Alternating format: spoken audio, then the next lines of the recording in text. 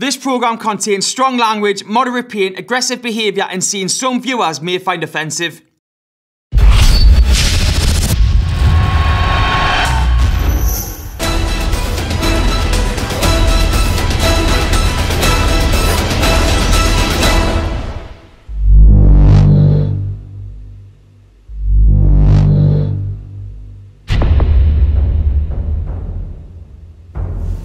I'm shitting myself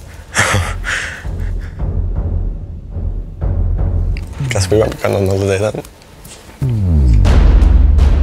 This is possibly the worst tattoo of the series, especially for a girl.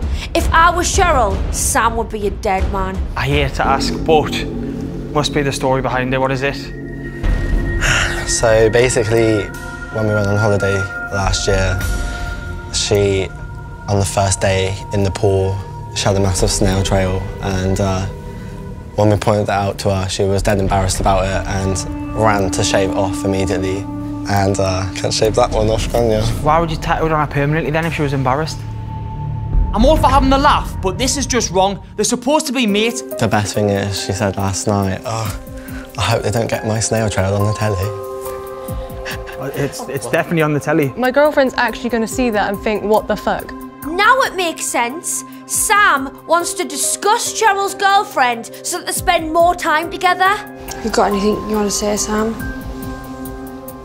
We might uh, get the friendship back on track. Maybe at snail's pace.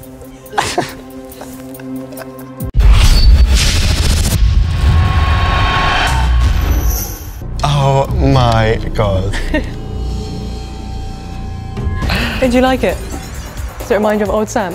I fucking hate you. What you done to me? Oh, I hate it. I fucking hate it. No chance. Cheryl, can you tell us the story? On Sam's other butt cheek, he's got a rose tattoo. And underneath that rose tattoo is that exact birthmark that he covered up. Sam doesn't like his imperfections, so I thought what better way to get him to love it than to get it back. Imagine getting an imperfection covered up and your mate tattooing it back on you. Brutal. It is literally the same as well. Oh my god. I'm putting it. I can't keep looking at it. oh, I didn't even think it would be that, you know. Fuck's sake. That, that is brilliant. May as well delete my Grindr profile because I ain't getting any more boys, no more. To be fair, you deserve it. What goes around comes around, Sam, especially on this show. So are you two still friends? I'll forgive you. It's going to take me a while to forgive you on that one, I'm not going to lie. Could we have a hug? Can we end on a happy note? Come on then, babe. Come on. Come on then.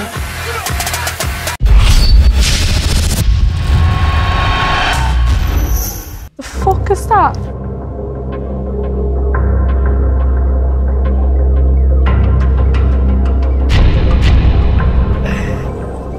Do you not get it?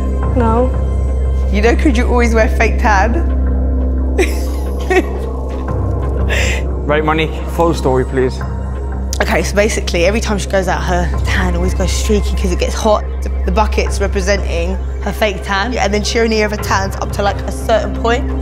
now I'm looking at it, I can actually see the line where you stop doing your false tan. No, I got wiped off. Don't be tight with your fake tan, AJ. Eh? I'll lend you some cash. Hang on, let's get me purse. Is it weird? I kind of love it. So, AJ, are you telling me you like your tattoo? Yeah, because I'm weird like that. Do you want to come up with me, Monique? Good luck. You may remove your fake goggles, Monique.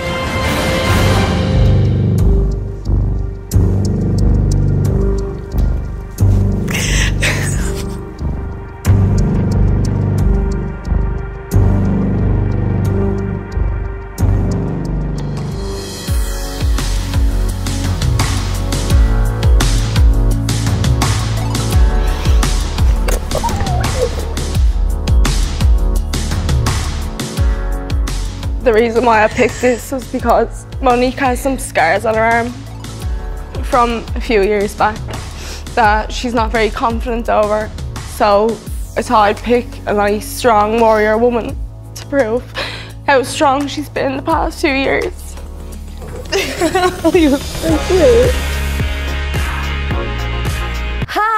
I'm Charlotte Crosby, and if you're enjoying this channel as much as I think you are, hit the subscribe button for even more amazing MTV videos.